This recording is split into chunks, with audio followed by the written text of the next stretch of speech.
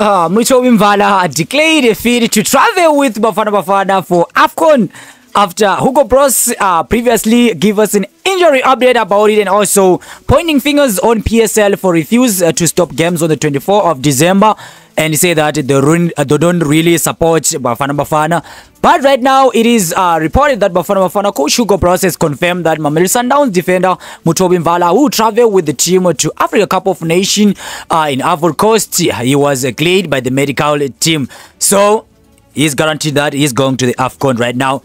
If you're new in this channel, consider subscribe if you go further with the supporting and also join my membership. So, this is reported by Soka Zela that Kaizer Chiefs development side coach Arthur Zwane rumored to be moved to uh, join Richards Bay as a head coach, according to the source close to the rich uh, rich boys. So, um, we saw Richards Bay uh, fired Kaitano Tembo and uh, Vusumuzi. Uh, um, he was also the one to take over Richards Bay. But right now, it is reported that it is rumored that Arthur Zwane is going there.